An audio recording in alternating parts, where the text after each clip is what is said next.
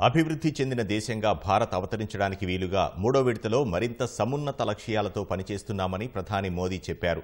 అందుకోసం మూడింతల బలంతో ముందుకు సాగుతున్నామని తెలిపారు. భారత్ అవకాశాల స్వర్గమని న్యూయార్క్లో జరిగిన ప్రవాస భారతీయుల సదస్సులో వెల్లడించారు. ప్రవాస భారతీయులు ఎక్కడ ఉన్నా ప్రతి రంగంలోనూ సామాజిక దేశాభివృద్ధికి దోహదపడతారని ప్రధాని మోదీ కొనియాడారు.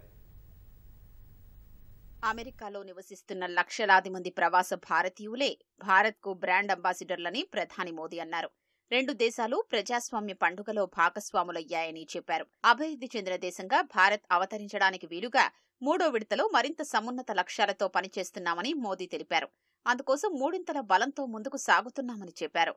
భారత్ అవకాశాల స్వర్గమని న్యూయార్క్లోని నస్సావ్ వెటరన్స్ కొలసియంలో జరిగిన ప్రవాస భారతీయుల సదస్సులో ప్రధాని పేర్కొన్నారు. ఈ సదస్సుకు దాదాపు పదమూడు వేల మంది హాజరయ్యారు. మోదీ ప్రసంగించిన సమయంలో వారంతా కరతాళ ధ్వనులు చేశారు. అత్యంత సంక్లిష్టమైన సుదీర్ఘమైన ఎన్నికల ప్రక్రియను దాటి ముందుకొచ్చామని మోదీ తెలిపారు. సుపరిపాలన సుసంపన్న భారత్ సాధన కోసం తన జీవితాన్ని అంకితమిచ్చానని ప్రధాని తెలిపారు. విధి తనను రాజకీయాల వైపు నడిపించిందని ముఖ్యమంత్రి ప్రధానమంత్రి అవుతానని ఏనాడు అనుకోలేదని చెప్పారు. ప్రవాస భారతీయులు ఎక్కడున్నా దేశాభివృద్ధికి దోహదపడతారని తెలిపారు దేశం గర్వపడేలా చేయడంలో భారతీయ అమెరికన్ల పాత్ర ఎంతో ఉందని మోదీ కొనియాడారు గ్లోబల్ సౌత్ దేశాల్లో అత్యంత ప్రముఖ గొంతుకలో ఒకటిగా భారత్ ఎదుగుతోందని ప్రధాని పేర్కొన్నారు हम ग्लोबल साउथ की भी बुलंद आवाज बन रहे हैं भारत की पहल पर जी ट्वेंटी समिट में अफ्रीकन यूनियन को स्थायी सदस्यता मिली आज जब भारत ग्लोबल प्लेटफॉर्म पर कुछ कहता है तो दुनिया सुनती है। कुछ समय पहले, जब मैंने कहा कि this is not the era of war तो उसकी गंभीरता सबने समझी। आज दुनिया में कहीं भी संकट आए, भारत फ़र्स्ट रिस्पॉन्डर के रूप में सामने आता कोरोना के समय में हमने 150 से ज़्यादा देशों को वैक्सीन और दवाइयाँ भेजी। कहीं भूकंप आए, कहीं साइक्लोन आए, कहीं गृह युद्ध हो, हम मदद के लिए सबसे पहले पहुँचते हैं। అమెరికా అధ్యక్షుడు బైడెన్ డెలావేర్లో శనివారం ఆయన ఇంటికి తీసుకెళ్ళారని ఆయన ప్రేమ వాత్సల్యం హృదయాన్ని స్పృశించిందని మోదీ చెప్పారు.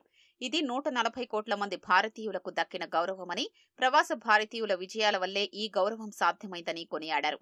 ఏఐ అంటే ప్రపంచానికి ఆర్టిఫిషియల్ ఇంటెలిజెన్స్ అని అయితే ఏఐ అంటే అమెరికా ఇండియా స్ఫూర్తి అని తన నమ్మకమని చెప్పారు. రెండు వేల ముప్పై ఆరులో భారత్లో ఒలింపిక్స్ నిర్వహించాలనే గట్టి లక్ష్యంతో పనిచేస్తున్నట్లు మోదీ వివరించారు బోస్టన్ లాస్ ఏంజల్స్ లో భారత్ రెండు కొత్త కాన్సులేట్లను ప్రారంభించనుందని తెలిపారు మొత్తం ప్రపంచంతో పోల్చినప్పుడు భారత కర్బన ఉద్గారాలు చాలా తక్కువ అని ప్రధాని వివరించారు पूरी दुनिया की तुलना में एक तरह से यानी कह सकते हैं ना के बराबर है हमने ग्रीन ट्रांजिशन का रास्ता चुना प्रकृति प्रेम के हमारे संस्कारों ने हमें गाइड किया इसलिए हम solar wind hydro green hydrogen और न्यूक्लियर एनर्जी पर इन्वेस्टमेंट कर रहे हैं भारत जी ट्वेंटी का ऐसा देश है जिसने पेरिस क्लाइमेट गोल्स को सबसे पहले पूरा कर दिया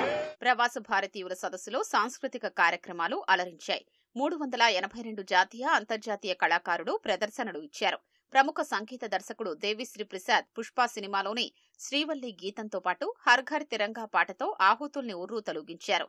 ఈ కార్యక్రమంలో డీఎస్పీతో పాటు గుజరాతీ గాయకుడు ఆదిత్య గాడ్వే ఇతర కళాకారుల్ని మోదీ అభినందించారు.